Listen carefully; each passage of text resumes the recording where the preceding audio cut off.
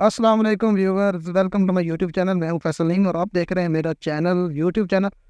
तो दोस्तों, ये हमारा छोटा सा मिनी ब्लॉग होगा, ज़्यादा बड़ा नहीं होगा। तो जो दोस्त मेरे चैनल पर नए हैं, कहने को मेरे चैनल को लाइक, शेयर, कमेंट और उसके साथ साथ सब्सक्राइब भी कर दीजिएगा। तो आप सब दोस्तों की नवाजिश और बेहद सपोर्ट के तहत आज हमारे चैनल के छः सात सौ सब्सक्राइबर कंप्लीट हो चुके हैं। और अलहमदिल्ला मैं इससे बहुत खुश हूँ, मुझे इतना यकीन नहीं था कि आप लोग इतनी बुरी सपोर्ट करेंगे।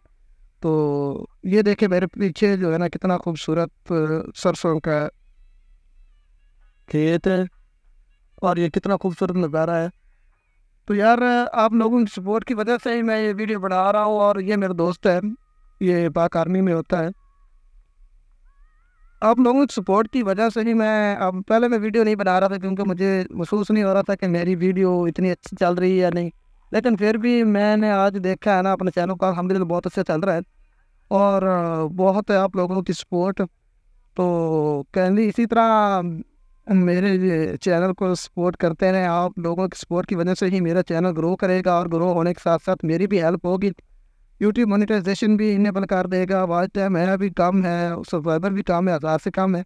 इन आप लोग जैसे जैसे मेरी वीडियो को देखेंगे और सब्सक्राइब करेंगे, उसी तरह मेरे चैनल ग्रो करेगा। और ये आप लोगों की बदौलत ही है।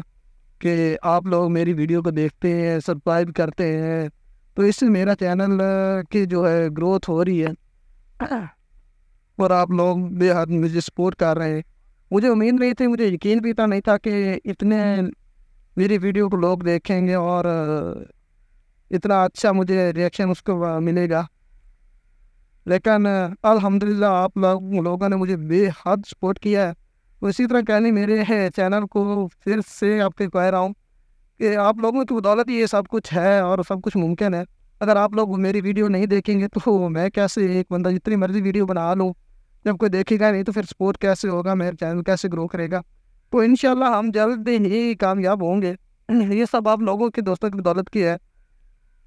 बाकी हम आए हैं इधर, थोड़ा सा अपने गाँव से बाहर, ये हमारे गाँव के बाहर के एरिया है। ये देखें। ये कितना खूबसूरत नज़ारा है।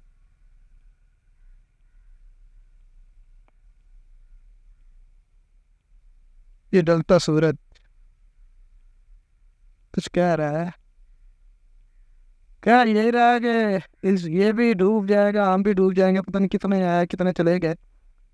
अल्लाह पाक जो चले गए, उनकी मफरत करे और जो है, ज़िंदा है, हम हैं, या दूसरे लोग हैं, हम सबको साल अमान करने की तफीक दे।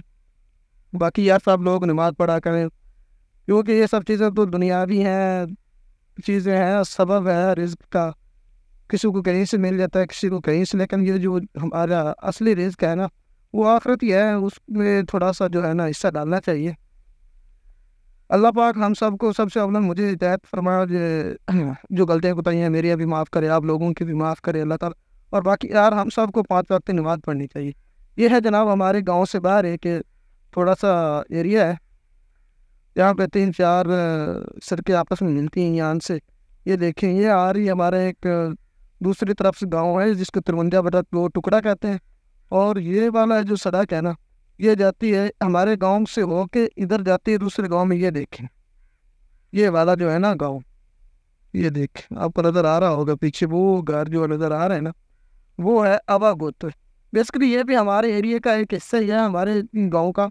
लेकिन ये हमारा जो है ना गाँव, ये आता है पाँच सौ अड़तालीस एक में। और ये जो दूसरा है ना, ये आता है पाँच सौ अड़तालीस नंबर दो में।